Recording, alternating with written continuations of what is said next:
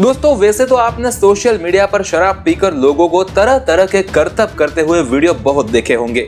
लेकिन, इस शख्स ने शराब के नशे में जो काम किया है, उसके बारे में जानकर आप हैरान हो सकते हैं।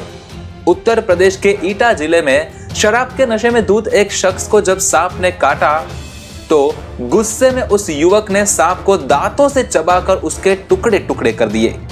जी हाँ दोस्तों इस घटना के बाद से पूरे इलाके में हड़कंप मच गया और सोशल मीडिया पर खबर वायरल हो गई। हालाँकि सांप को दांतों से चबाने के बाद युवक वहीं पर बेहोश होकर गिर गया।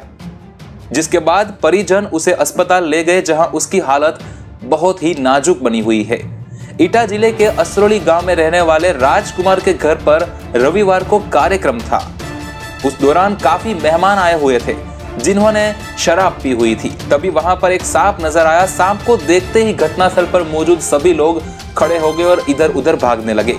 तो कुछ लोग सांप को मारने पहुँच गए। नशे की हालत में राजकुमार ने सांप पर हमला बोल दिया।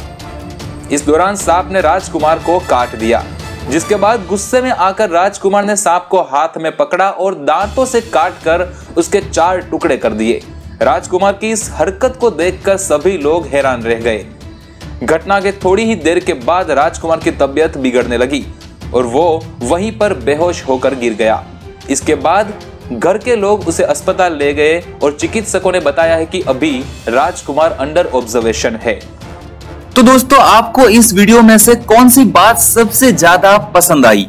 आप हमें कमेंट करके ज़रूर बताइएगा और आपको ये वीडियो पसंद आया हो तो वीडियो को लाइक कीजिए, शेयर कीजिए और हमारे चैनल को सब्सक्राइब कीजिए ताकि हर एक इंटरेस्टिंग वीडियो आप तक पहुँचते रहे। Thank you so much